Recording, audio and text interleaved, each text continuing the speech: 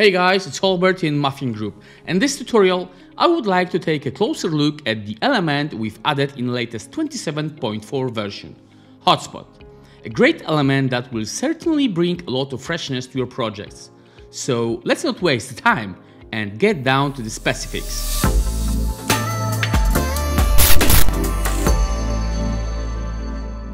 I will start by explaining what a hotspot is. A hotspot focuses on helping you create interactive images that can help you highlight relevant information, boost engagement, and increase conversions for your website.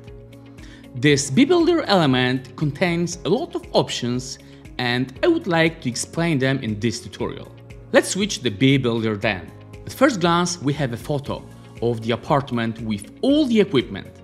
The image have been uploaded by using first option under hotspot settings. It's an option that opens media library where from you can choose the right image. For this one, I used pulse marker animation, but you can switch between different ones like default, where you just see point with no animation, scale, and bounce. The next option is content animation, where you can switch between the default one and fade in. For this hotspot, I use default, but if you want points to fade in on load, you can switch to fade in.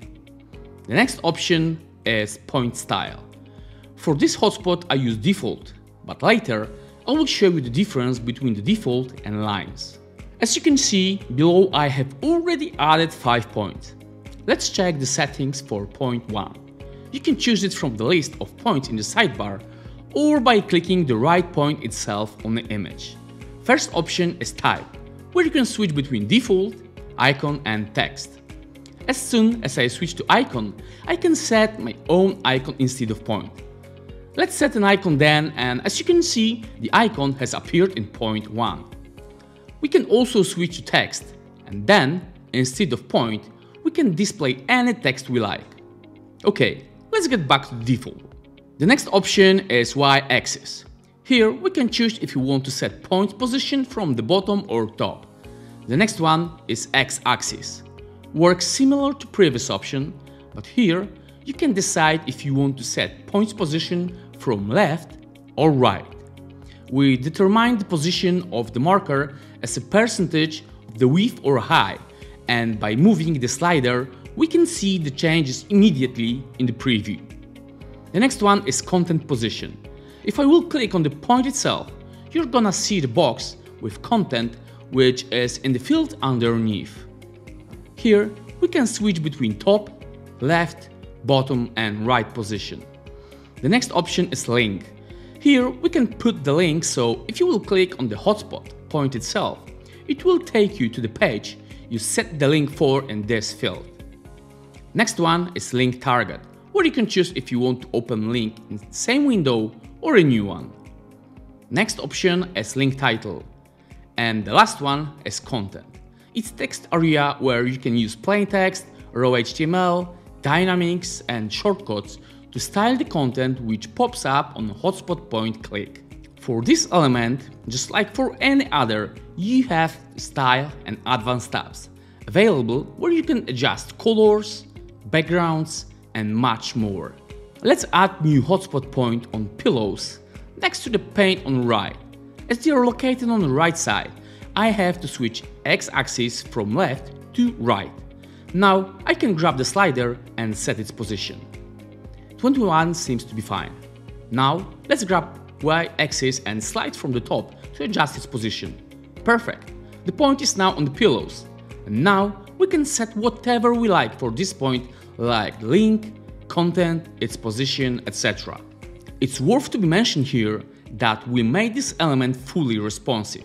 Most options are equipped with functions for setting individual values for individual devices. Now we can move to the next hotspot with the car, where I would like to show you how to add such lines with text box. The most important thing here is to switch point style from the default to lines. And now if we open first point, you will notice few different fields than when we've been using default style. First of all, for the point, text type has to be set if you want that small text field at the end of the line. Rest of the options is similar to default style except two options, line offset top and line offset left. Using both options, you can adjust line and text box position. To change line start point, you have to use Y and X axis sliders, just line exactly the same as in the case of the default style. At this point, I must draw attention to one important thing. If we use the line point style, there is no possibility to display content on point hover or click on smaller devices just like in case of the default style. That's it for this tutorial. Hope you like this video and from now on you would be using hotspot element in your projects. And as always, thanks for watching and remember to like, subscribe and hit the bell icon to get notified every time we release a new video. If you have more questions, please visit our support center at support.muffingroup.com.